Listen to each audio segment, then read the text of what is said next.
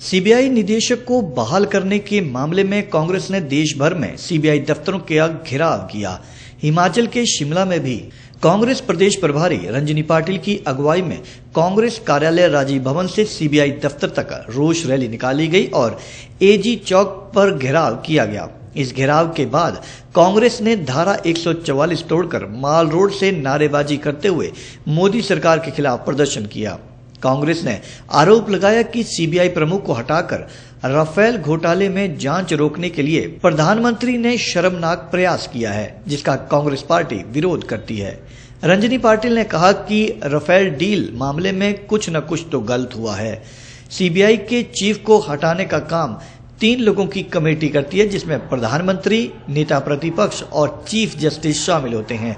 लेकिन प्रधानमंत्री ने बिना इनके मशवरे के सीबीआई के प्रमुख को हटाया है, जिसमें कुछ न कुछ घोटाला है। वहीं प्रदेश कांग्रेस द्वारा माल रोड पर धारा 144 का उल्लंघन करने के खिलाफ पुलिस ने सख्त कार्रवाई की है।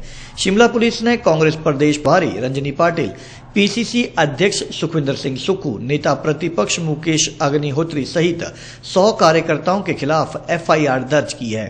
पुलिस से मिली जानकारी के मुताबिक कांग्रेस पदाधिकारियों ने धारा 144 का उल्लंघन किया है।